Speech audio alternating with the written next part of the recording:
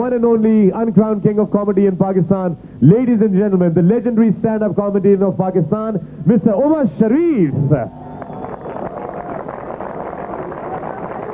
इंतहाई इंतहाई मोजिज खवातिन हजरात ये मैंने मोजिज इसलिए इस्तेमाल किया है कि आप इसको समझे कि मैं क्या कहना चाह रहा हूँ ये क्योंकि प्रोग्राम बकरा ईद पे चलेगा ईद के मौके पे चलेगा और ईद जो है वो बकरों की है और बकरे इस दफ़ा कटेंगे। और हमारी जो अदाकाराएँ हैं, ये बहुत बकरे काटती हैं। और बहुत कुर्बानी होती है, माशाल्लाह। एक एक अदाकारा एक एक साल में तकरीबन कुछ नहीं कुछ नहीं को पाँच पाँच छह छह बकरे काटती हैं। और इन्हें बकरे मिल जाते हैं। हम तो मंडी ढूंढ ढूंढ के पागल हो जाते हैं आप यकीन मुझे आज तक कभी काम का बकरा नहीं मिला। बताइए इनको कहाँ से मिल जाते हैं यार? नज़र की बात है ना? एक, एक, एक नज़र है जिससे पहचान लेते कि जी ये बकरा सही है। मुझे आज तक कभी बकरा नहीं मिला। पता नहीं ये क्या बकरा है मुझे ये भी पता नहीं लग रहा। लेकिन बकरा जो है ना वो एक चीज़ है। हमारे मुल्क में कुर्बानी का जज्बा बहुत है लोगों में और ये बकरे जो होते हैं इनको खरीदने जब आप मंडी में जाएँगे तो आपको पता चलेगा कि बकरा क्या चीज़ है। बकरे बेचने वाले उसकी शान में कसीदे पड़ते हैं बकरे के कि ये बकरा आउट क्लास है जी। इसकी माँ अमेरिकन है और बड़ी अजीब अजीब सी बातें उन बकरों के दरमियान में होती हैं। तो हम शुरुआत जो है, वो आज के प्रोग्राम की इसी बात से करेंगे कि एक ठप्पा है मेरे ऊपर। वो ठप्पा ये है कि मैं पाकिस्तान की बात करता हूँ, जब भी करता हूँ। मेरे से और कोई बात होती नहीं है। मैं कहता हूँ, अपना वतन, अपनी दोस्त लेकिन यहाँ पर इस वक्त पाकिस्तान की खातन सख्त सख्त किस्म की मायूसी के शिकार में है। वो क्यों? प्रोग्राम देखने पड़ रहे हैं, अपने चैनल देखने पड़ रहे हैं। मज़ा भी आ रहा है। पुरानी पुरानी चीज़ें देखने को मिल रही हैं। लेकिन खातन कोई मुतमिन इनको कर नहीं सका दुनिया में। कोई इनको मुतमिन नहीं कर सका। जिसने ताजमहल बनाया था ना, उससे भी लड़ती थी मलका नूर जहाँ कि सही नहीं बना हुआ मेरी अम्मी कह रही, दूर से टेढ़ा लगता है। औरतों को नहीं आप मुतमिन कर सकते। चंगेज खान इतना बड़ा जालिम, जाबर इंसान था, लेकिन बीवी टेंशन देती थी उसको। जंग से वापस आता था, वो कहती थी, तुम जंग में थे ही नहीं।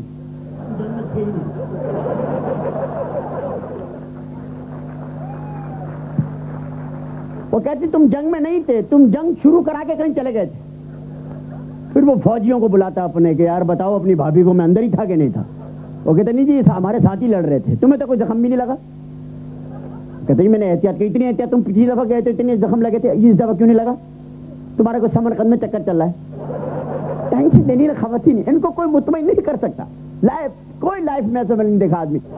ये वाहिद ईद होती है बकरों की, जिसके अंदर बकरों की एक इंपॉर्टेंस होती है और इसके अंदर बंदे जाते हैं मर्द जाते हैं खरीदने के लिए। और खरीदार को वो बकरे की खसूसियात बताते हैं। बकरे के बारे में। हमारे एक दोस्त बकरा लेकर आए। कसाई को दिखाया कैसा है? उसने देखा, उसने बहुत शानदार है भाई। कान ऐसे किया, उखड़ गया। दुम पकड़ी, उखड़ गई। दांत करे बत्ती सी बाहर निकल आई। वो सारा का सारा बकरा जो है ना, एल्फी से जोड़ा हुआ था उसने।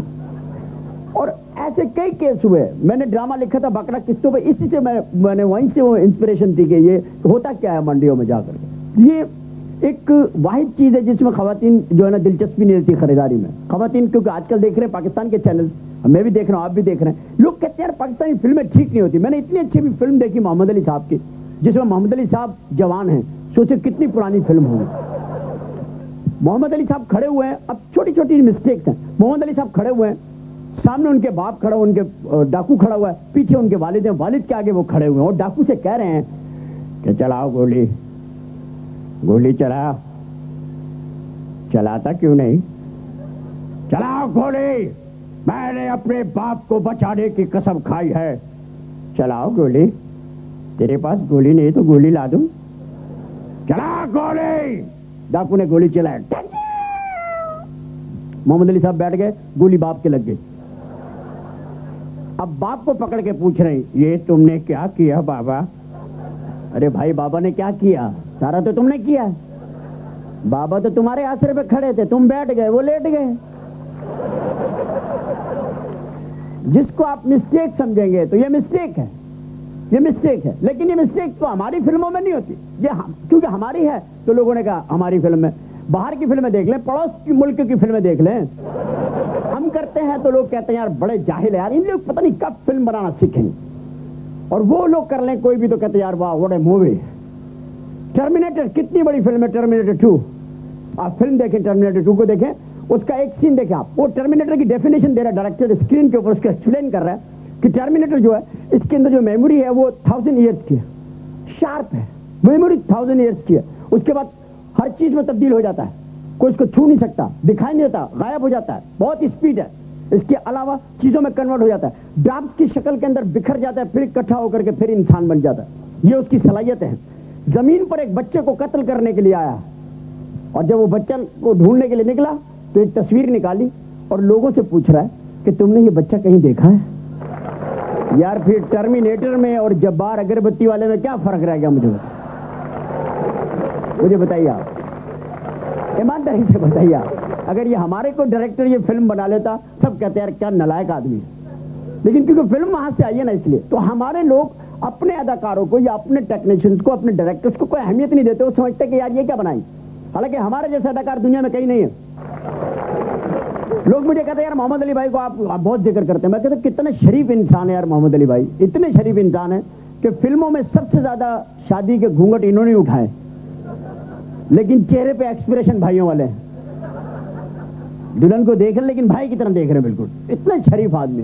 तो हमारे यहाँ जो है ना, अपनी चीज़ों को बात करने का मौका अब तक नहीं आया कि अपनी चीज़ क्या है। बाहर जाने का शौक, पाकिस्तान में लोगों को बाहर चले जाएँ किसी तरह। यार, पाकिस्तान में क्या रखा है? बाहर जाने के लिए भाई आपका सिविलाइज होना बड़ा ज़रूरी है। और आप बाहर जाएँगे तो आपको फिर एक एयरलाइन चाहिए। एयरलाइन आप चूज़ करेंगे तो कौन सी करेंगे? अपनी अपनी एयरलाइन में जब आप जाएँगे तो आपको पहली आवाज़ जो एयरपोर्ट पे आएगी वो यही आएगी। प्यार की प्रवास किसी जो रवानगी के लिए तैयार है। मुसाफिरों से दरखास्त की जहाज़ तशरीफ़ ले जाए। जब जहाज़ के अंदर बैठेंगे तो अनाउंसमेंट आपको डरा देगा। खातिन हजरात सफ़र की दुआ पढ़ लीजिए। अपने गुनाहों को याद कर लीजिए। अपने बच्चों को गौर से देख लीजिए। कुछ की कुछ को सीधा कर लीजिए। सामने रखे हुए कार्ड को जी कार्ड को पढ़ लीजिए। ऑक्सीजन मास्क कहाँ कहाँ पे उनको देख लीजिए। हंगामी रास्ते कहाँ कहाँ पे उनको देख लीजिए। लोग कहते हैं, टिकट लीजिए, हमारे पैसे वापस दीजिए। अपने सफ़र ही नहीं करना। इतनी टेंशन। लेकिन ये हकीकत मैं आपको बता रहा हूँ। और फिर क्या है कि एयरलाइन खसारे में? खसारा बहुत है। बहुत खसारा है। ये थोड़ी थोड़ी सस्ती एयरलाइनें निकली थी, लेकिन एयर होस्टेस वैसी जैसे जितने का टिकट। अट्ठारह सौ रुपए का टिकट एयर होस्टेस महँगी। पानी आपने मांगा, बराबर वाले को पिला के चले गए ये समझ से बार बात अजीब अजीब किस्म की चीज़ें मिलेगी। जब आप अमेरिका जाएँगे, अब ये जहाज़ आपका चलेगा, उतरेगा, वहाँ पे पहले से कुछ लोगों को इतला हो जाएगी कि वो लोग आ रहे हैं। वो अपने मुल्क के तमाम जहीन लोगों को इकट्ठा कर लेंगे तुम लोग भी आ जाओ, वो आ रहे हैं। पहले हमारे सामान पे कुत्ते छोड़ दिए जाते हैं। वो तो खुदा भला करे जो हमारे देहात के लोग जाते हैं यहाँ से। वो इस किस्म का साग पका के लेके गए हैं, जिसको सूंघने से उनके कुत्तों की नाकें बंद हो गई और वो उस हिस्से ही महरूम हो गए, जिसकी वो खा रहे थे बेचारे। उनकी मोटल हो गए कई कुत्ते। कुत्ते मोटल हो गए आप अंदाज़ा लगाए। क्या आलम होगा उस साग का, जिसने कुत्ते मोतल करा दिए? उन्होंने कहा, दफ़ा करो, उन्होंने सूंघने छोड़ दिया। उन्होंने कहा, कौन इतने कीमती कुत्ते मरवाए?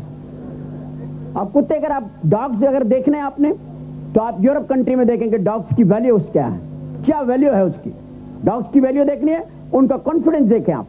उनका कॉन्फिडेंस क्या है? मैंने देखा यूरोप कंट्रीज़ में डॉग्स को ऐसे चल रहे हैं। कॉन्फिडेंस एक एतमाद, एक चेहरे पे वकार डॉग्स के। और एक तरफ़ देख रहे हैं, उनकी आँखों में कोई खौफ नहीं। उनके दिमाग में कोई खौफ नहीं कि हमें अचानक कोई मारेगा, कहीं से पत्थर आएगा। तो हमारे कुत्ते इसी टेंशन में रहते इधर इधर यूँ चल रहे हैं। यूँ चल किसी ठेले के नीचे तो यूँ बैठे हुए हैं। क्योंकि हमारे लोग ऐसे हैं ना, दही बड़े खा रहे नीचे उसको लात मार दी बड़ा करे। कुत्ते सोच रहे थे, यार, मेरा क्या कसूर है भाई? मैं नीचे बैठा आराम से। मुझे किस लिए लात मार दिया आप? तो हमारे ना जानवर भी टेंशन में है। इंसान तो है ही। जानवर बहुत टेंशन में। मुर्गियाँ चूजों की वजह से बिल्ली से टेंशन में। बिल्ली कुत्तों से टेंशन में। कुत्ते इंसानों से टेंशन में। आगे चले जाएँ जिस तरह के हमें बिजली के बिल मिल रहे हैं, अब यकीन करें, शेर जंगल का जानवर है। दो बिल उसको मिल जाए ना ये महीने के, गर्मियों के, जून और मई के।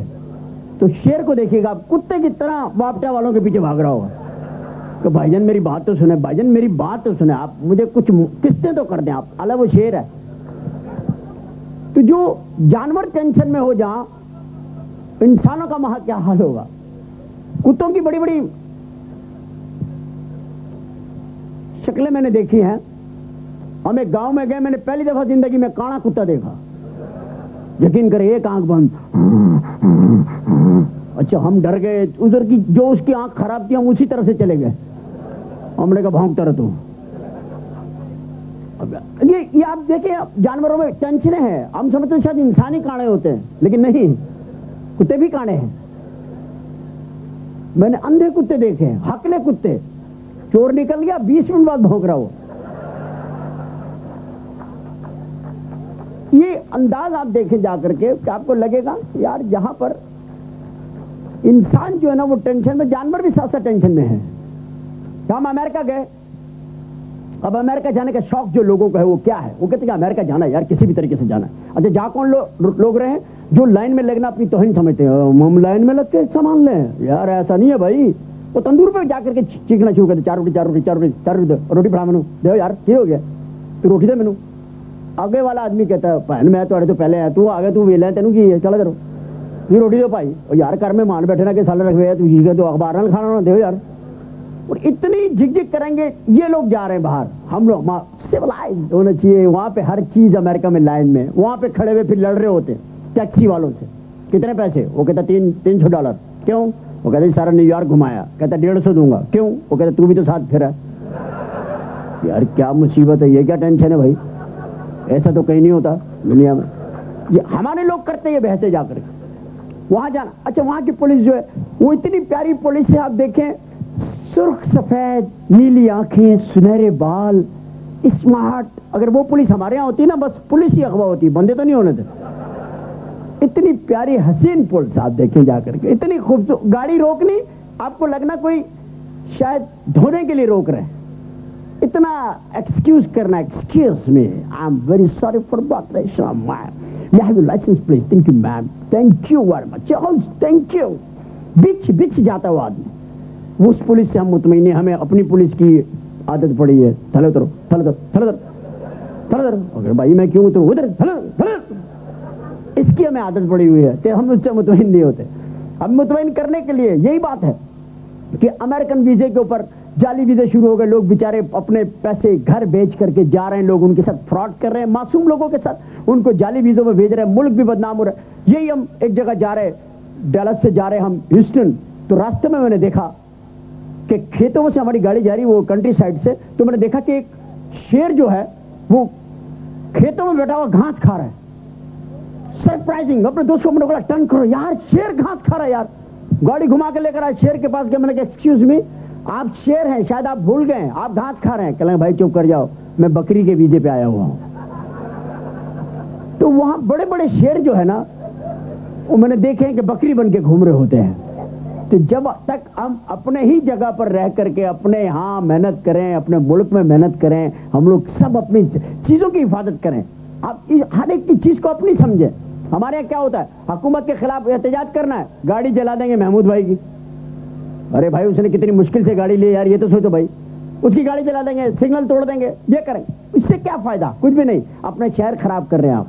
अपनी चीज़ों को पसंद कीजिए, अपनी चीज़ों में दिलचस्पी लीजिए। आप देखेंगे कि ये मुल्क इतना प्यारा है, इतना खूबसूरत मुल्क है, इतना प्यारा मुल्क है अलहमदुल्ला कि जो हमारी हरकतें हैं, अगर ये मुल्क हमारे पास ना हो हमें कोई अपनी ज़मीन पर ये सब कुछ करने नहीं देगा जो हम करते हैं।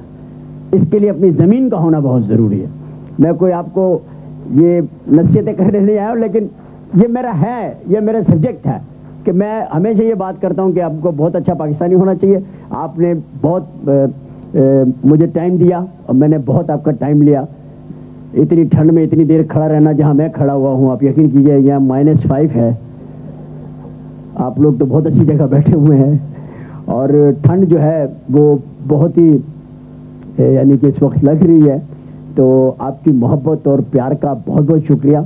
आपने इस हंगामा, खेजी के दौरान में मुझे इतनी तवज्जो से सुना।